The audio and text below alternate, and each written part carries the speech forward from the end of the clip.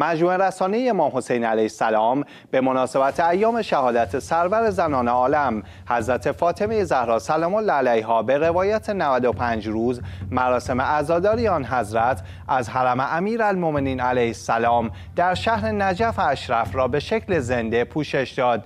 این مجموعه رسانه ای از طریق تلویزیون های ششگانه خود به زبان های فارسی، عربی، انگلیسی، ترکی و اردو تلاش نمود تا حد اکثر فعالیت شعائر فاطمی را به جهانیان مخابره کند.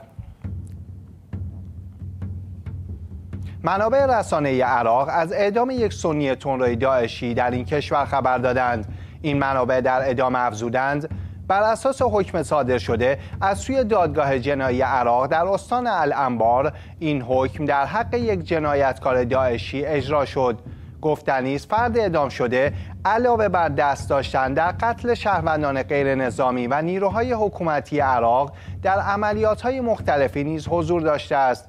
وی که در شهر فلوجه بازداشت شد مقادیر زیادی سلاح و مواد منفجره با خود به همراه داشته است.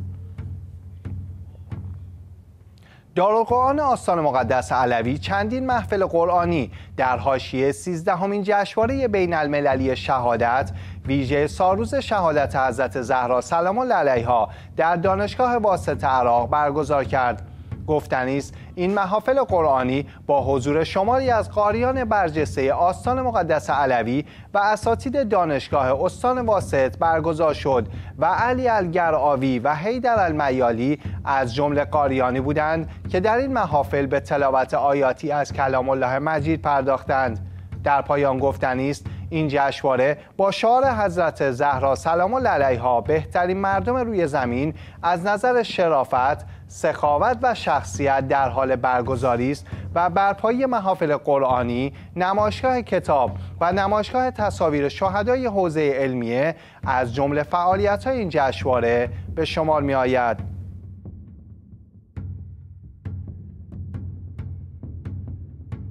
ارتش لبنان بیش از 50 نفر که اغلب آنها سوری بودند را در پی غرق شدن قایقشان در مقابل ساحل ترابلس در شمال لبنان نجات داد. در بیانیه ارتش لبنان آمده است که یک قایق در مقابل ساحل ترابلس در شمال لبنان در حین قاچاق غیرقانونی برخی افراد غرق شد. بیانیه مذکور افزود که گشت نیروهای دریایی ارتش لبنان توانست 51 نفر که در آن قایق بودند از جمله دو فلسطینی و 49 سوری را نجات دهد پناهندگان سعی دارند از طریق قایق به اروپا بروند و معمولا به سمت قبرس که کمتر از 200 کیلومتر از لبنان فاصله دارد می‌روند.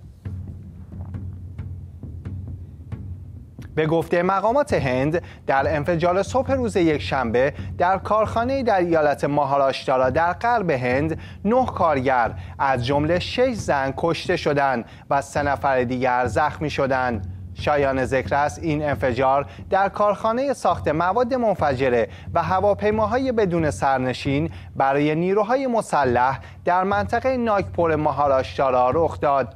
رسانه های محلی گزارش دادند که سه نفر دیگر نیز مجروح شده و به بیمارستان منتقل شدند.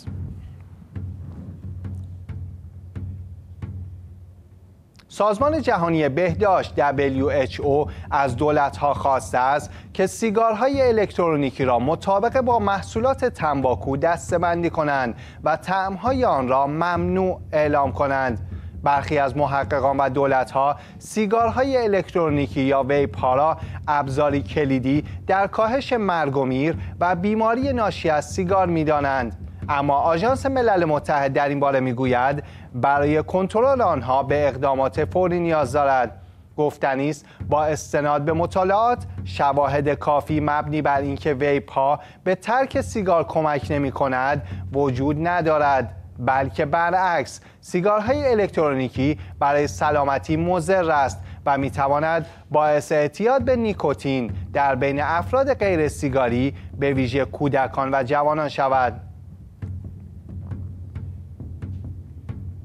برخی از مهاجران افغانستانی که از پاکستان بازگشتند در کمپ های داخل افغانستان با شرایط سختی از جمله بیماری کودکان روبرو هستند در همین راستا سازمان ملل متحد بر آسیب پذیری بیشتر مهاجرانی که از پاکستان به افغانستان بازگشتند تأکید کرده و اظهار داشته که 80 درصد این مهاجران را زنان و کودکان تشکیل می دهند که با نزدیکتر شدن به فصل سرما وضعیت مخاطر آمیزی در انتظار آنان است.